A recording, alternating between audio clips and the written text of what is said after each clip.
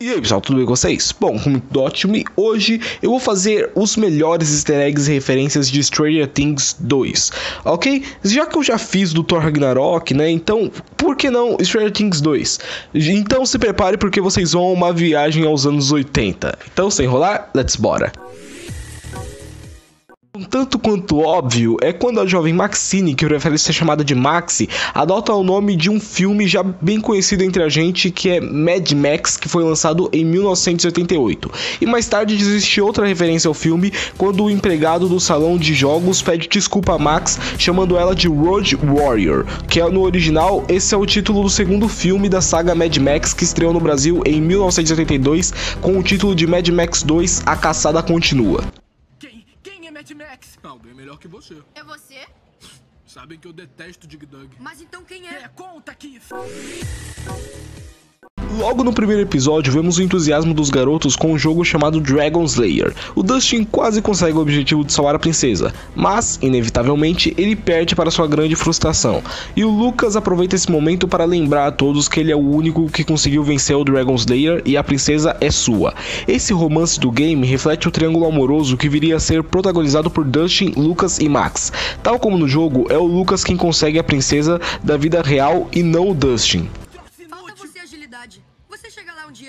Mas até lá, a princesa Daphne ainda é minha. Não importa essa. Eu ainda sou melhor em Centopeia e Dig Dug.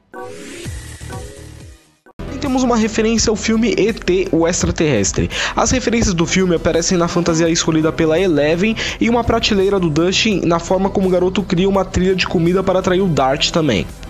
E já sabe a resposta. Não, mas eu sei que não Ei, deveriam. Eu não me importo. Mas eles eu não não me deveriam. importo. Ouviu? Você sair da casa, de fantasma ou não, é um risco. Nós não arriscamos. Tá bom? A temporada teve muitas brincadeiras, entre aspas, com código Morse, e uma delas que não ficou claro é a batida secreta entre o Hopper e a Eleven. Ele bate duas vezes a porta, pausa e volta a bater, dessa vez três vezes, que significa we, ou seja, numa tradução, nós.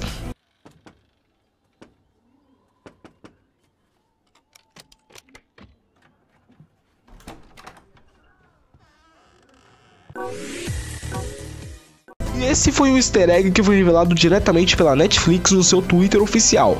Por 353 dias, o Mike chamou Eleven todas as noites, nunca desistindo da garota. Então é só você somar os números 353 e você obtém o número 11. Eu te liguei toda noite. Toda noite por 353 dias. Eu ouvi, Mike. O visual do Monstro das Sombras lembra das criaturas imaginadas pelo escritor H.P. Lovecraft. Segundo os irmãos Duffer, o objetivo era criar um ser que está além da compreensão humana.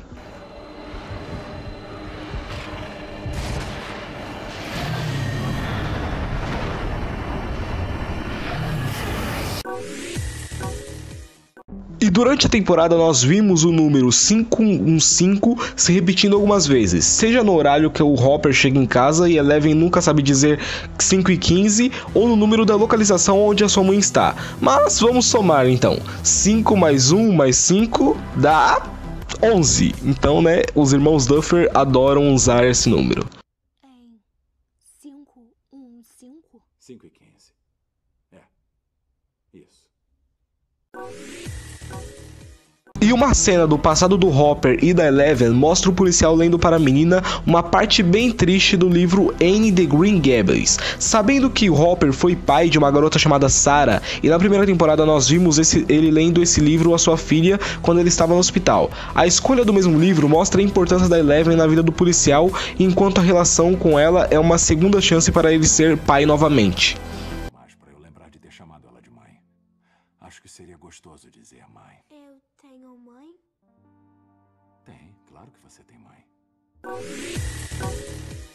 A comédia, escrita por John Hughes e estrelada por Michael Keaton, foi a escolha do Bob para a noite de filmes. O filme Dona de Casa por Acaso, o Keaton vive um homem que depois de ser demitido assume as tarefas domésticas de casa enquanto a mulher trabalha para sustentar a família. Dona de Casa por Acaso? Uou! Perfeito!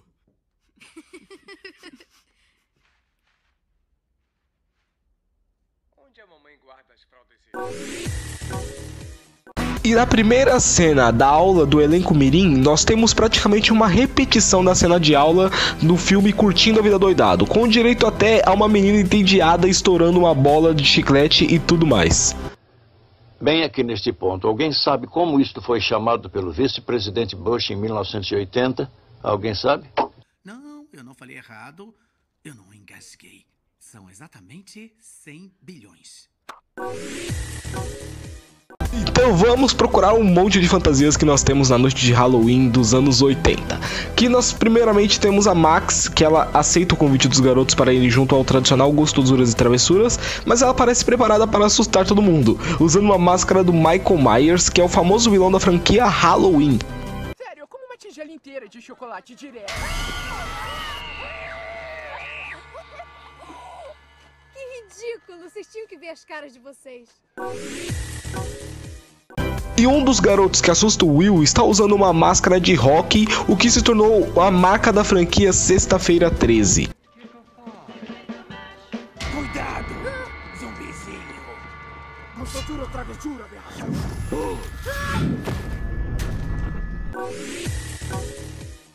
E o parceiro de festa do Billy está fantasiado de Johnny, o vilão integrante do Cobra Kai, interpretado por William Zabka no Karate Kid A Hora da Verdade.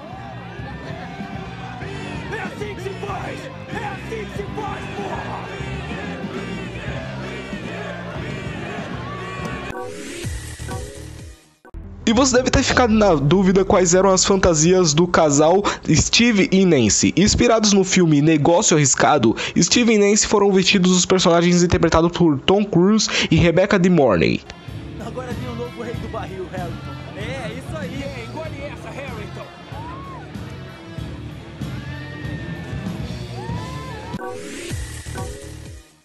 E uma das fantasias do Dia das Bruxas que um dos jovens usa é a fantasia do treino do Rock em uma só. É, ele pegou dois filmes do Rock 1, o lutador, e o Rock 2, a revanche, fez em uma roupa só.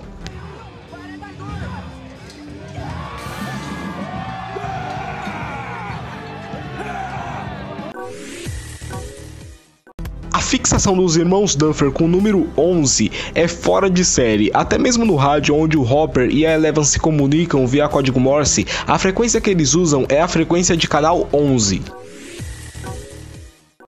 E eu suspeito que o Dustin não assistiu o filme Gremlins, ou teria tido mais cuidado na hora de adotar um animal desconhecido. No filme de 1984, existem três regras essenciais para que o Mogwai não se transforme no Gremlin. Ele não pode ser molhado, não é para dar comida para ele depois da meia-noite e mantém a luz afastada dele. A terceira regra é compartilhada com o Dart, a criatura interdimensional que o Dustin adotou e que não aguenta a luz. Essa é uma referência sutil à regra menos famosa do filme, que é icônico dos anos 80, e um aviso sobre a verdadeira natureza do bichinho. Vai lá. Come. Muito quente? Desculpa aí, amiguinho. A forma como o Devorador de Mentes infecta Will é muito similar ao do filme O Enigma de Outro Mundo, com os tentáculos da coisa que invadem seus hospedeiros. Além disso, o monstro da série é chamado por Joyce de Coisa, que também gosta de frio e é combatido com fogo, como no longa de 1982. Fácil, fácil, não é? Fácil, fácil. Simples assim.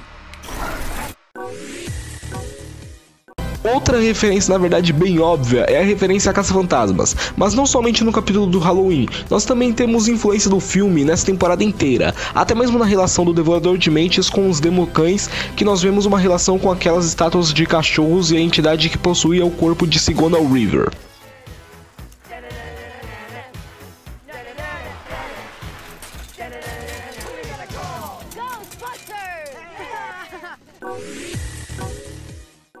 Easter egg bem divertido é quando o Bob encontra o famoso X na parede dos Byers e ele pergunta se o X marca um lugar do tesouro. O que é curioso, já que o ator que esteve em Goonies, onde eles realmente perseguiam o mapa do tesouro. Onde?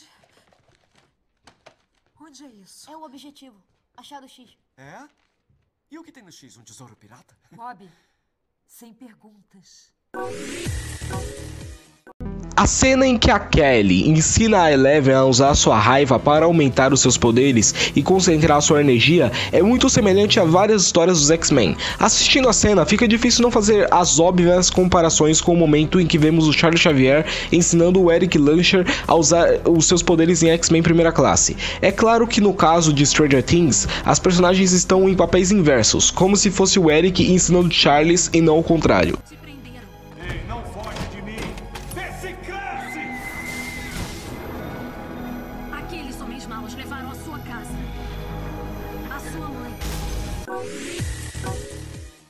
A Nancy e o Jonathan têm cicatrizes combinadas do corte que fizeram para atrair o Demogorgon na primeira temporada.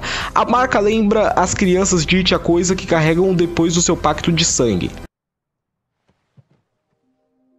Você ainda tem? Tenho. Hum, a minha maior. Meus parabéns. Quando os soldados chegam para tirar fogo nos cipós do Devorador de Mentes, o Will cai no chão e agonia fazendo barulho muito esquisito. E se você já ouviu um barulho semelhante em algum lugar, foi no filme Os Invasores de Corpos.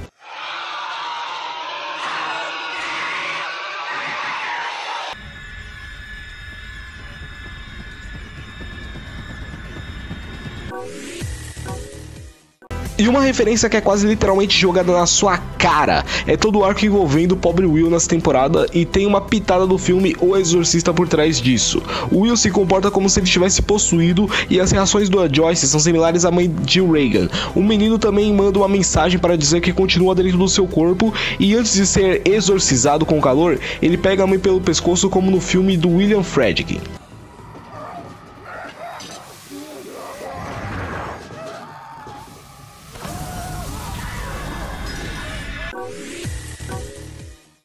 E outra referência a X-Men é o truque da Kelly para esconder a gangue com seus poderes, que lembra a estratégia do Charles Xavier no filme X-Men Primeira Classe.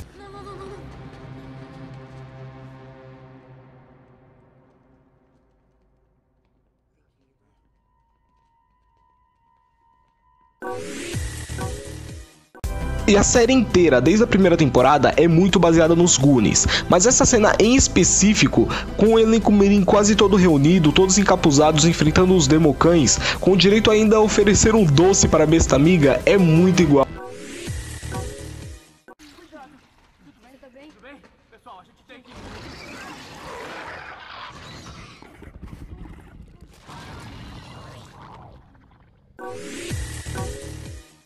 O makeover de Dustin para o baile lembra o de Duck no filme escrito por John Hughes, A Garota de Rosa Shocking. A chegada da Eleven à festa também remete à entrada da personagem de Molly Ringwald. Cacete, o que houve com você? Como assim, o que houve? O quê? Cara, seu cabelo. Tem um ninho de passarinho aí ou o quê? Olha, é, o que que tem o cabelo? E não tem ninho de passarinho aqui. Então pessoal, você viu que tem muitos easter eggs em Stranger Things. Mas e aí, eu esqueci de colocar algum aqui? Não esquece de colocar aí nos comentários, curtir o vídeo e assinar o canal. Valeu, falou e até mais.